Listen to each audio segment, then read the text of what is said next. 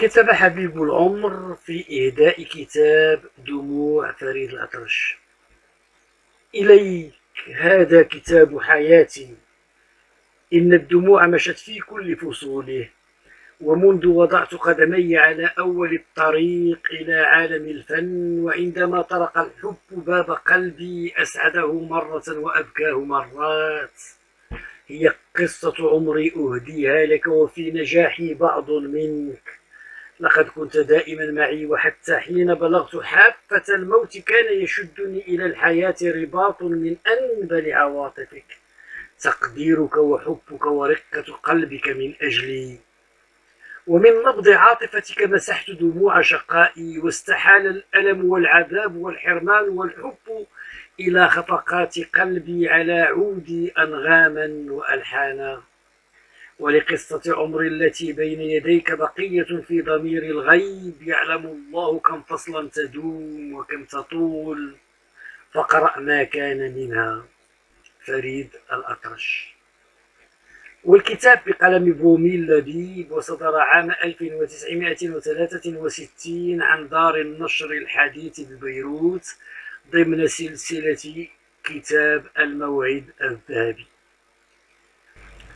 وفي طية الغلاف كتب مؤلفه فنان من بلادي عاش لدموعه وآلامه عاش لأحاسيسه المرهفة وعاش معه الملايين في أجواء النغم العبقري والطرب الشجي وأعطى الفن العربي الكثير من التجديد والابتكار والتطور. إنها قصة من أعمق قصص التاريخ الفني. في هذا الشرق. عزيزاتي أعزائي أسعد الله أوقاتكم بكل خير ومرحبا بكم في هذه الصفحة الجديدة من صفحات من ذاكرة الزمن الجميل حيث أواصل تقديم كتاب دموع فريد الأطرش متسلسلا في حلقات نزولا عند رغبة بعض الأصدقاء والصديقات. وإليكم في هذه الحلقة الجزء الثاني من الفصل الأول والذي يحمل عنوان طريق الدموع. ففي الجزء الأول كان الحديث عن مولد فريد وولعه بالغناء منذ صباه وإشارة إلى موت شقيقه أنور وخاليه خليل ثم هرب الأسرة من ديميرجي في تركيا بسبب الحرب وميلاد أسمهان في سفينة البحر فوفاة شقيقته وداد وألم الصبي لفراقها. وفي هذا الجزء الثاني سنتعرف حب فريد للخير ومساعدته المحتاجين منذ صغره مما كاد يودي بحياته في حادثة غرق. وانضمام فهد الأطرش إلى الثوار في معركتهم ضد الفرنسيين. وسنرافق علياء المنذر وهي تهرب بأولادها الثلاثة من بيروت حتى وصولها إلى القاهرة. ولحظات شيقة وممتعة. لم يكن للعز الذي رآه فريد في الجبل ولا للنعيم الذي رتعت فيه الأسرة في بيروت خلودا في حياة القافلة التي تحمل اسم فهد الأطرش. ولا كان فريد يدرك أنها فرصة لكي يعب من السعادة للأيام السود القادمة. كان ينصرف من القصر ليلعب مع الصبية الفقراء أحدهم أغراه بأن يذهب معه إلى شاطئ بيروت عند الروشة لكي يعاونه في صيد السمك. وفريد الذي لم يكن قد تجاوز السادسة من عمره أطاع في غير تردد فهرب من خادمته وهرع إلى البحر. وأمضى سحابة النهار في صيد السمك وتحمس وأوغل في الماء فجاءت موجة عالية واختطفته. صديقه الذي معه ارتاع وصرخ فتجمع الناس واندس في الماء باسل منهم وخرج بفريد وهو يصارع الموت فأفرغ ما في جوفه من ماء مالح. وسأله ابن من يكون وحمله إلى القصر وهو في عجم من أمر ابن الأكابر يساعد في الصيد مرتزقا. فلما عاتبت الأم فريدا قال صديقي الجائع ألا أعاونه في تحصيل قوته؟ وعرفت الأم لماذا كان فريد يأخذ الفاكهة ويقول إنه سيأكلها في الحديقة. ولماذا كان يختلف إلى المطبخ ويخرج منه بلفافة فتتغاضى عنه حاسبة أنه يفعل خيرا. وخيرا كان يفعل. ولكن هل يفعل الخير إلى حد أن يوشك على الموت؟ ترى هل يجد هو بعد ذلك من يحمل له لفافة طعام شهي من قصر غني؟ ترى هل سيصادف من يبذل له حياته مثل ما كان يبذل لصديقه الفقير؟ سألت الأم نفسها هذه الأسئلة ولم تجد جوابا غير صور من الماضي تتتابع عبر مخيلتها وتسلمها للضنا الشديد والحزن الكثيف. آخر تلك الصور صورتها وهي عند الأمير سليم الأطرش حاكم جبل الدروز. فقد التقت به في قصره في دمشق وسألته في فضول ماذا تريد يا سليم؟ فهد الأطرش ابن عمي تعلمين لقد انضم إلى صف الثوار في الجبل. وماذا في هذا؟ إنني أعرف ذلك منذ تركنا. وأعرف أن الجبل يتحول إلى ميدان قتال تفرشه الدماء. لو كان ابن عمك يرعى أسرته لما تركنا للوحدة والقلق. إنني فررت من بيروت فرارا حين علمت أن الفرنسيين يتربصون بأسرة فهد الأطرش ليعتقلوها. إنني أتحمل أي شيء ولكن ما ذنب هؤلاء الصغار؟ مهلا يا زوجة ابن العم. فهد الأطرش أرسل يطلبك مع الأولاد لتذهبوا إلى الجبل وستكونون في الحمى. كل الحمى وستقيمون في قلب كل درز. ماذا يفعل الصغار إذا أصابت رصاصات الفرنسيين قلوب الدروز جميعا؟ فكظم سليم الأطرش غيظه وقال بلهجة حاسمة مطلوب مني أن أخذ أولاد ابن عمي إليه أما أنت فافعلي ما تشائين بعد ذلك. فقالت بلهجة أشد حسما الله لا يريك ذرية إن أنت فرقت بيني وبين أولادي.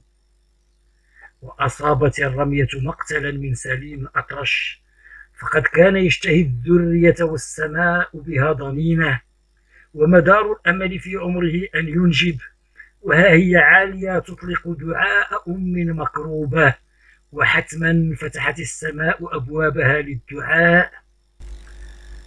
وظل سليم الأطرش بلا حراك لدقائق فلما تحرك من مكانه هبت إلى أولادها تحميهم منه وحلقت ابتسامة باهتة على شفتيه ومضى إلى حجرة جانبية وأحضر كيسا من نقود عاد به إلى الأم وهو يقول حد الله بيني وبينك خذي هذه النقود وذهبي. وخرجت وهي لا تكاد تصدق أنها أنقذت فلذاتك بدها من الموت في الجبل وفكرت في أين تفر بهم بعد أن أصبح الخطر خطرين خطر الفرنسيين وخطر فهد الأطرش. حين عادت إلى بيروت لم تكن تنام الليل وهي تحرس بعينيها فراخها الصغار. وكان أرقها يزداد مع كل خبر يصل من جبل الدروز فيقول إن القتل الفرنسيين يسقطون بالعشرات إن معنى هذا أن الفرنسيين لن يفلتوها من أيديهم. وكانت في تلافيف رأسها فكرة تختمر وتبين لها المعالم والخطوط يوما بعد يوم. فكرت في أن تذهب إلى مصر. فقد قرأت عن مصر كثيرا. وعرفت أنباء ثورة الشعب مع سعد زغلول. تلك الثورة التي فجرت في قلوب العرب حبا لها وعرفت أنها دار مضيافة تفتح ذراعيها لكل عربي ومنها يجيء الفنانون والمطربون وفيها الخير العميم. ولم يبق على تنفيذ الفكرة إلا السبب الأخير والموقف القاهر. ذات منتصف ليل دق الباب فارتاعت عالية واحتضنت أطفالها وهي تسأل الطارق من أنت وماذا تريد؟ وهل هذا وقت تطرق فيه بيوت الناس. لأوقظن الخدم أولا ليقابلوك. لا تبدأ العجلة فأنا أعرف أحايل اللصوص أما الطارق فقد كان في صوته توسل لا يخفى. فلما تبينت عالية فتحت ضلفة الباب وشرعت أذنها لتسمع. سيدتي صدر أمر القبض عليكم. هيا إلى الفرار. أنا درزي وأنتم أهلي وعشيرتي.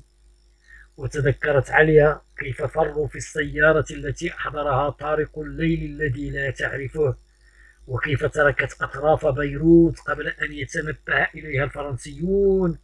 ثم كيف اندفعت إلى القطار في حيفا ومقصدها القاهرة. ثم نشرت الأم غطاء خفيفا على أولادها. فؤاد وفريد وأسمهان وراحت تتجول بعينيها في المسافرين من حولها. كانوا يترترون ولا يكفون عن اللغط. أما هي فوجدت في الصمت ملاذها لترتب صور الماضي ابتداء من يوم كاد فريد يغرق. حتى اللحظة التي كانت الأسرة كلها تقع فيها في يد الفرنسيين. ثم راحت تجد من كل هذا الماضي بابا تدخل منه إلى المستقبل. فهل يمكن التكهن بشيء عما يطويه القدر؟ وهل يستطيع الخيال أن يسبق الأيام القادمة ويرسم لها صورة تدخل الطمأنينة وتهدئ روع الأم التي تواجه الدنيا وحيدة؟